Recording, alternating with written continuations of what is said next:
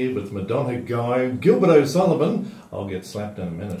what's in a kiss? Here's what's in a kiss? Let's get back to those gut issues. Yeah. Turmeric. Yeah. So when when you're sort of working with the gut, it once again it takes looking at all of the symptoms and the history to sort of find out what we need to do. Now, when people come in with gut issues, quite often they have already been to the allergy specialist and they've had prick tests and, you know, the sort of scratch tests that people do. And quite often they've just hit that spot where nothing has shown up that's any use.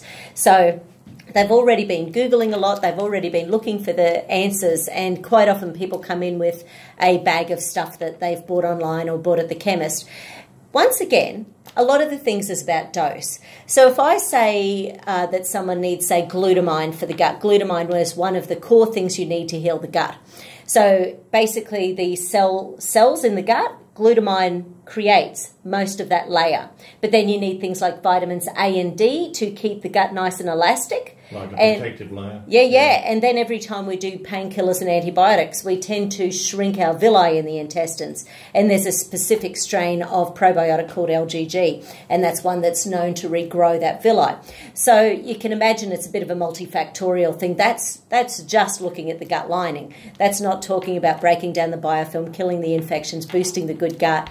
Uh, you know, You, you could not print enough books about these subjects. Oh, it's it It's really endless. it is, and everyone's different. and it's so changing every day. Too. it really is. The research coming out is fantastic. So, for example, the microbiome, that is the stuff that we get from our mother. So, it's why, And we carry that in our bodies till the day we die. absolutely. And we've got layers of microbiome in like the um, sinus cavities. We've got it in, you know, all through the digestive tract. We've got a different microbiome in our oral cavities to our gut to, and different layers of the gut, you know, the stomach, small intestine, large intestine.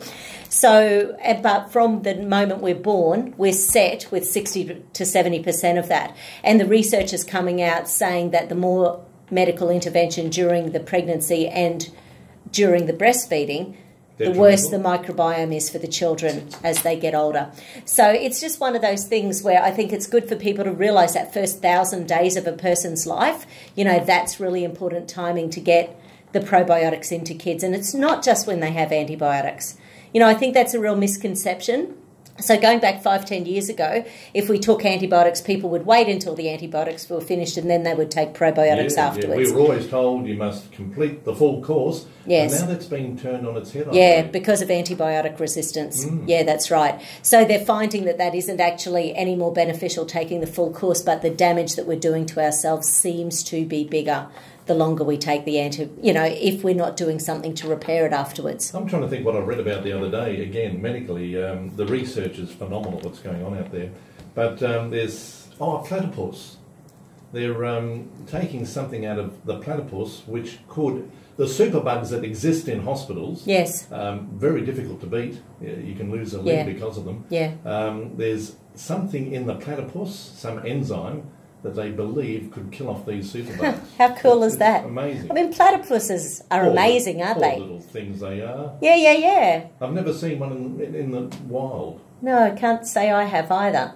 But you know, there are actually herbs that are known to kill. Because when we're talking about those superbugs, we're looking at things like staph and strep and that sort of thing. There are actually herbs that kill those in big enough doses. So, for example, golden seal, you know, it's a herb that's been around for thousands of years. It is very well known to kill staph on contact. And what about my favourite product, Manuka honey? Manuka. It's The fabulous. the good quality Absolutely. stuff, the, the low level stuff. Yeah. It's got to have a certain level. MG, is it? They Yeah, well, it it can't be homogenized and pasteurized either. I know that seems like a silly thing to say about honey, but honey needs to be organic to have all the therapeutic benefits in it. Straight from the beehive. It really does. So, as long as it's organic Manuka honey, that's amazing. An amazing antibiotic. yeah, I, I take a little teaspoon about oh once every two weeks. Yep.